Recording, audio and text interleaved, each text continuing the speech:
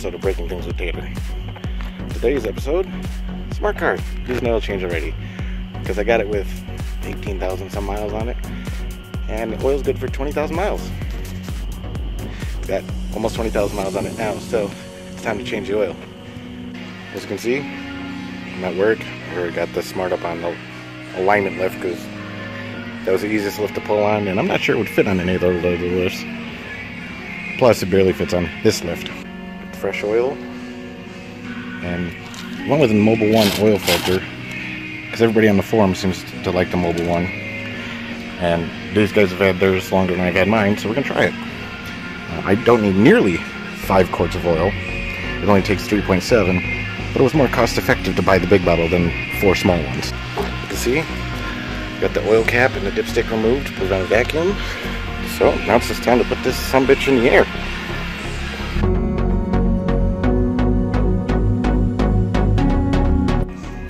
So we got it up in the air. My first time seeing underneath it. Everything looks clean. A little surface rust on the subframe, but it is five years old. Ah, oil filter. That's oil filter drain plug. They really couldn't make it any easier. Though, I'm not sure where the fuck that oil is going to end up when I start pulling that drain plug. I might have to devise something to deflect it downwards. Just go grab the tools. Let's get this done. Alright, so we got it draining. The drain plug, which also has the screen on it, was significantly over torqued. Took way too much pressure to get out. Just an oil drain plug, people. It needs to be snug. Not torqued like a hundred fucking foot pounds. I'm gonna wait till the oil's even done draining for the, the filter off. And yeah, I figured out how to keep the oil in it by just raising up the drain pan. Alright, so we got the old filter off. Here's the new filter. M108A. Thank you, little guy. Step one, to wrestle with the child resistant packaging with oily hands to get the cap open. To get all the foil off, dip your finger in. A little fresh oil on your hands. Lubricate the O-ring.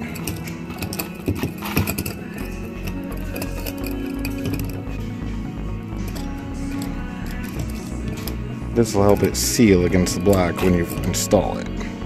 It's a very important step. Do it on every vehicle that has spin-on filter. I cleaned that off once, but apparently little dripped in the meantime. Clean up the gasket seat again. Speaking of the old one, it's actually name brand filter. Made by Mann. Same people who make the factory filters for the Jetta. I think a lot of other German vehicles. So new filters on. Drain bolts replaced. I haven't torqued it down yet. According to the service manual, it's supposed to be torqued to 48 foot-pounds. I'm not using a torque wrench, I'm just using a standard ratchet. So I'm to go to the generic measurement for all German built vehicles. Good and tight. That's plenty. I shouldn't have as much trouble removing it next time. Uh, what I already did off camera was I sprayed this down with shop solve. Brake clean would also work. Clean up any oil. The importance of doing this is if there's a, if you clean up all the oil residue so you know you're starting nice and clean. If there's any oil, you see any oil later, it means you got a leak. And you didn't just forget to clean it.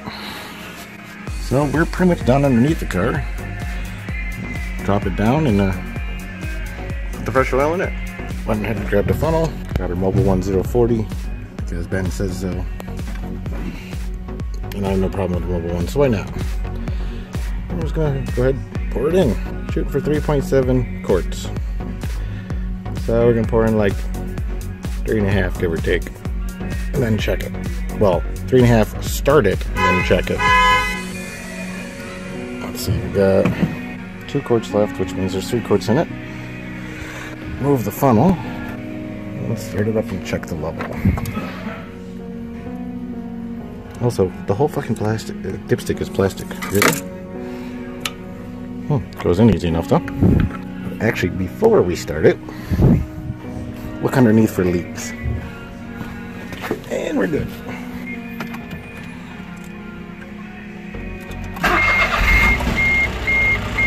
First got an oil pressure light. There it goes.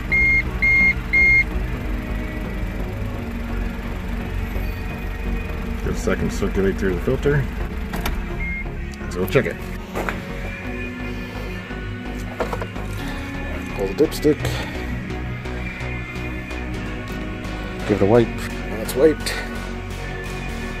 reinsert it completely. Make sure it's seated. And check it. And as you can see, we're like half a quart low.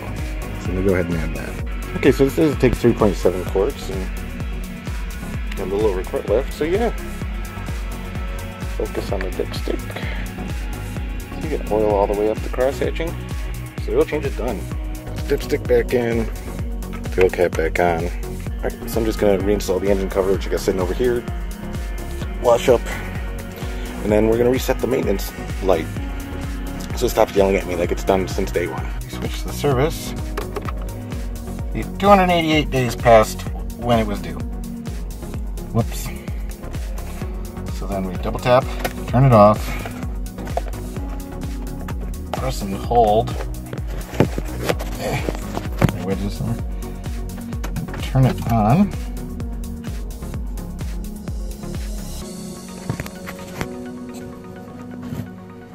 Keep holding. May have taken too long. So, start the process over again. Double tap. Turn off. Press and hold. Drop my phone. Turn off. With it being pressed and held. Guess obviously not working. I'm gonna try again off camera, just so I can do everything quicker. Okay, yeah, it was simple as that. I just wasn't doing everything fast enough. So now when I double tap the servicing, 10,000 miles to the next oil change. They said to do it once every 10,000 miles or once a year. Apparently it was a little over on time, but it should have been due at 20,000 miles, so it's taken care of. Now I'm heading home. We're, we're done for the day. Alright, so it's been a week since I changed the oil. Mainly because I needed to wait for parts to show up so I could finish the 20k service. Originally I was just going to do the oil, but I decided we might as well do the whole thing. According to the service manual, on top of changing the oil, you got to change the air filter, which is in this bag, the cabin filter, which is in this one, because everything is special order. So I bought it all online, because it's cheaper, and there's no Benz dealer within like 100 miles of here. I also got a replacement for the rear wiper blade. That one's even name brand. Oh, it's recording backwards. Well, it's the right one. It's the official one. But more on that later. Alright, so we're to start with the cabin filter, which I even got the, it doesn't say smart on it, but Mann's the one who makes the smart one, so it's the same thing, just cost less. Crack this open here. Oh shit, there's instructions.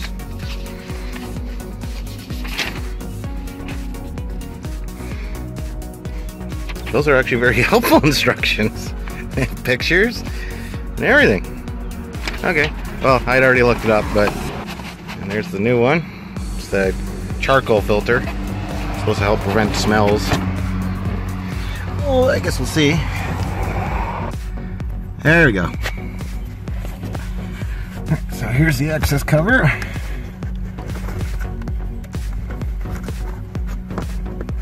What the fuck did it say to do? Push two retaining clips, okay?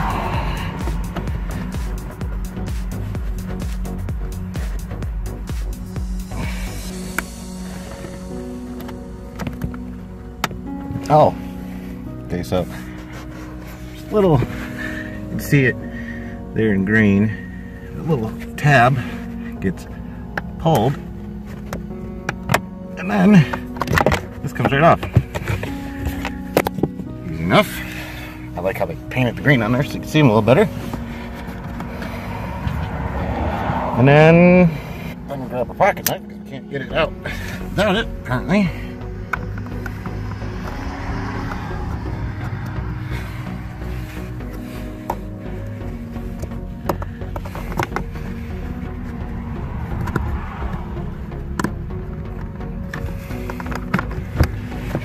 Huzzah! Yeah, it's out. And it's pretty disgusting. So yeah. Yeah, that's the original one. So it's a good thing that we're changing it.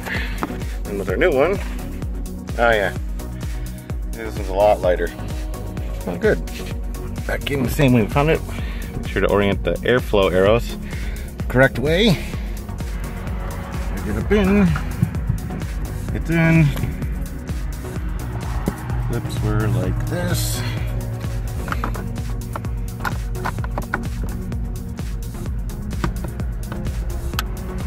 Clipped and clipped. Make sure it's all snug. Boom, done. All right. Now we're gonna do the air filter, the engine air filter. Part of the other reason that I decided to do the uh, cabin filter is the air conditioning felt a little weak. Like it, it does blow cold air, but it, it's never gonna freeze you out of the car. I don't know if that's just how this car is or cabin filter is a good thing to try. The more airflow, it'll get colder. So I'll let you know if it improves. Let's forget to the air filter. Seen this story before. Fold this up. Take a handy dandy little hook here. Clips it on. Uh, no, there's not one over there. I thought there would be. I just thought it was missing. All right. Twist. Remove the engine cover. Set that aside. Alright, so there's the filter. Actually, there's the ground. See the ground right through the engine. Kind of neat. Well, first, I gotta go grab a screwdriver. Gotta loosen this screw. So we can pull this off. Just pop these clamps, get it out of the way. Got the screwdriver. Give this a little twist.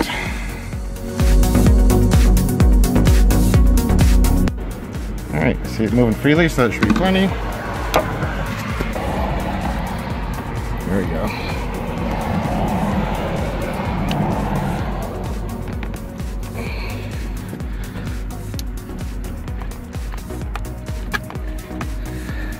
That's enough. A screwdriver, so I'm gonna jam my finger in there. There it goes. Goes. The finger works better. And that's what she said. Let's turn on. Why isn't the boot's definitely out of the way. I cannot for the life of me get this fucking thing to move. Come up. Retaining tape? Doesn't feel like it. Oh. There's the third one. Motherfucker.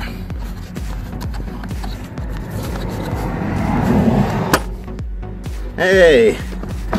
Oh my god, it's so much easier when you fucking undo all the clips.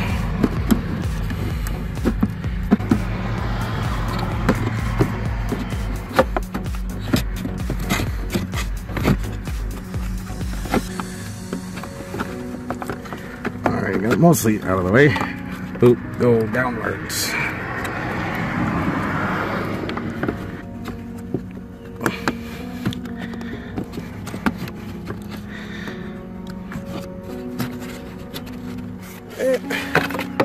Jeez, what a pain in the balls.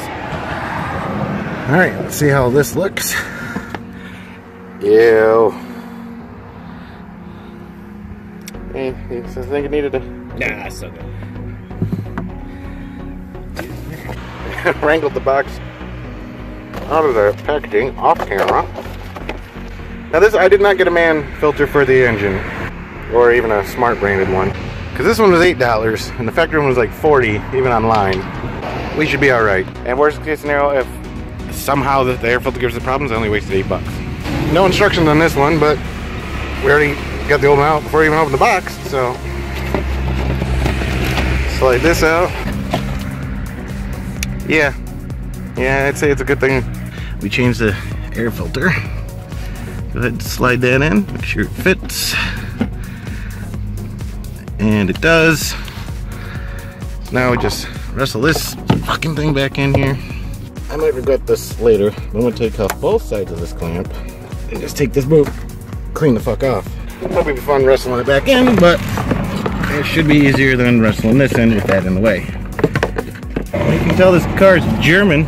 He engineered it with just enough room to get this fucking in there.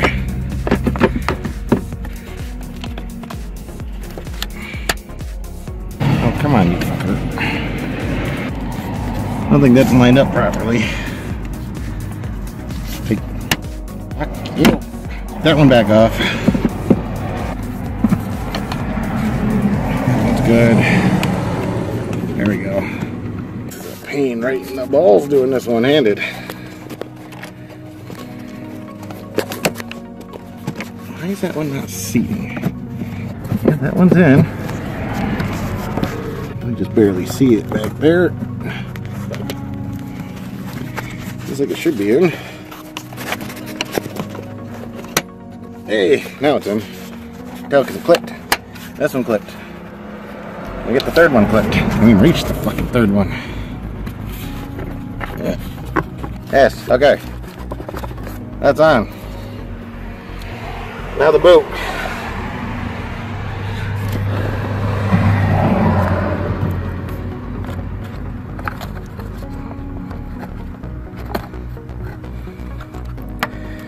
Yeah, this may be a, this might have been worse.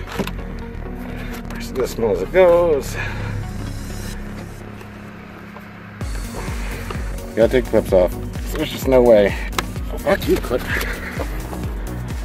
And I'm getting that in there with that already on. Maybe maybe we just do that. You can gain enough wiggle room to attach to one side. Okay, sorry about that. Needed both hands. But meant to wrangle that side on. So now get this side. Alright, so this side's reattached. So what we're gonna do is we're gonna tighten it back down. Apparently off camera. Need both hands for this. Get this side nice and snug, which means we can now force this back onto where it goes. Rotate the clamp back into place. Just realized I never put the clips back on. Can I actually get this middle one with the hose on? World may never know. Oh, Jesus. Let me get both outside ones. Maybe that'll help. Why won't you rotate now? What the fuck? There it goes. Alright, two on. Third clip. Lifted. Snapped. Fucking Christ. Alright, that's my good wrench down. That ain't coming off. That ain't coming off. Boom. Air filter's done. Move this shit out the way. Engine cover.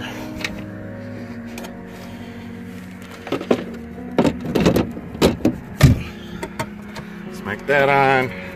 Tighten it down. That's good. Unhook the carpet. Maybe.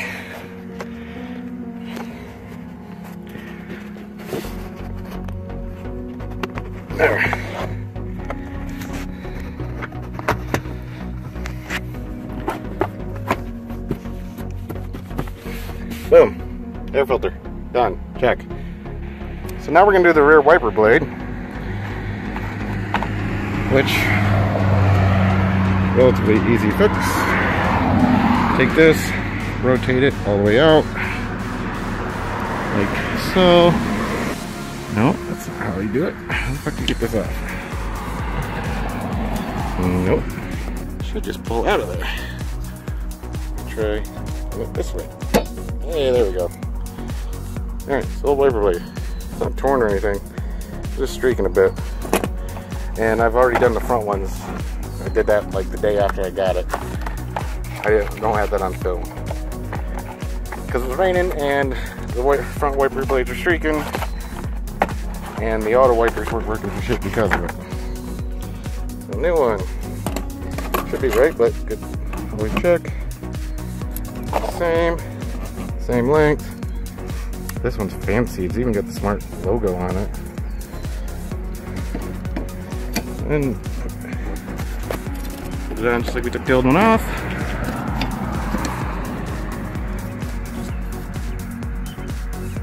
Pull it into place. See here, click.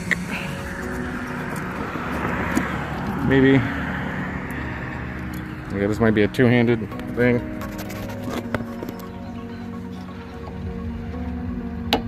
We go, click. Rotate around. Boom. Our wiper blade's done. On that note, I'll see you in the next one.